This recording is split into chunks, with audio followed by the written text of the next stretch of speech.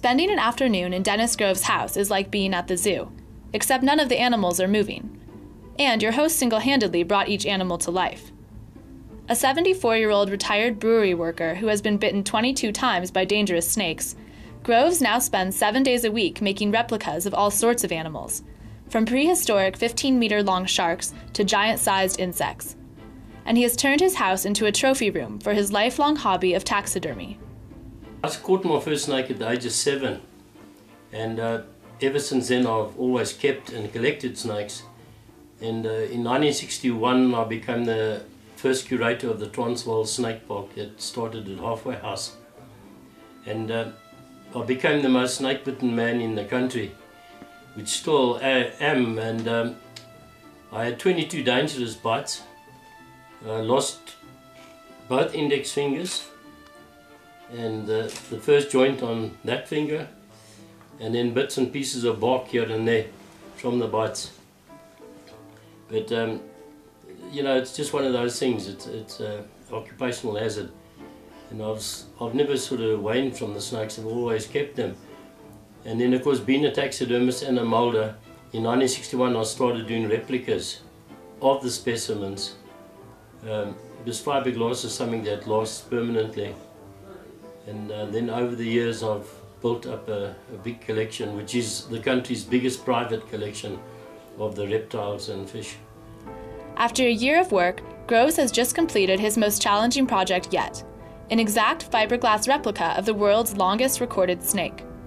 Shot by an engineer in Indonesia in 1912, the record holding reticulated python was more than 10 meters long. The reason why I decided to build this thing because as I've mentioned to many people, you know, people always say, you know, what is the longest snake that you get? And if I tell them I know the record is 10 meters, then that becomes just a figure in their head. They, they can't see what the animal looks like. So I decided oh, I want to reconstruct it so they could see. And of course it's taken a full year to do. And uh, I had to collect a lot of information. And this was from various uh, snake experts and guys that owned live reticulated pythons.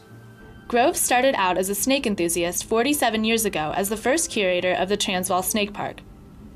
Now, hundreds of snake bites later, he holds the record for receiving the most snake bites of any man in South Africa.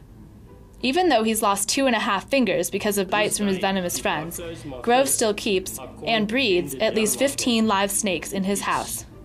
And this one, I was treating it, it had a stomach ailment. I was holding it behind the neck with one hand, and I had its mouth wide open, and I was going to put a pipe into its mouth. And as my hand got near its mouth, it lifted one fang and it smacked it into the ball of my finger.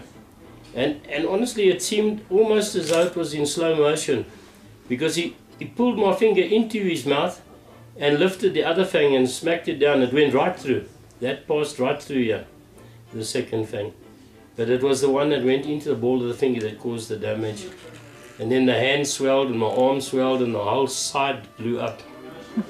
Groves has several more snake projects in the works now, including a display of the world's dozen deadliest snakes, one of which he's been bitten by.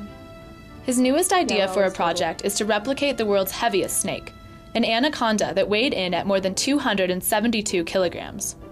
Now you know um, the anaconda doesn't reach quite the same length as the reticulated python, but it gets heavier in girth. And therefore that makes the anaconda the overall largest snake in the world. And um, it would be interesting to have the anaconda lying next to this reticulated, especially the, the record anaconda lying next to this record reticulated python. But Groves makes replicas of much more than just snakes a great white shark that he constructed after piecing together slices of its body that arrived on his doorstep. The largest lizard ever found in South Africa, still with its real skin attached. Famous Max the gorilla's footprints. A lifelike werewolf and a blue faced witch. Even the terrifying giant spider that scared Johannesburg residents in the city's big 1993 April Fool's joke. Grove says his collection is too big to count. He is well known by local museums and zoos, which often buy or commission his animal replicas for up to 25,000 Rand. But most of his creations line the walls and floors of his home, where he has Halloween parties so that his 10 grandkids and 3 great grandkids get to have some fun with all his work.